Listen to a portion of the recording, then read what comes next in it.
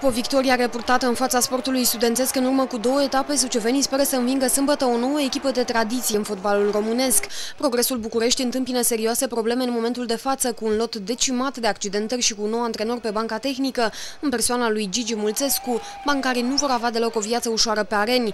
În speranța reeditării performanței din etapa a 19-a, când cetatea a învins sportul, Ovidiu Murariu își dorește ca la acest meci, la fel ca și atunci, în tribunele stadionului să fie prezent primarul Sucevei Ion Lungu. Din discuția care am uh, purtat-o cu dumnealui uh, luni dimineață, nu a precizat dacă va participa la meci, însă sperăm că prezența lui să facă simțită și sâmbătă, iar uh, rezultatul să-l determine chiar la fiecare meci pe teren propriu să fie prezent alături de noi și, cum am precizat și la meciul cu sportul studențesc, să constituie un imbol pentru jucătorii suceveni.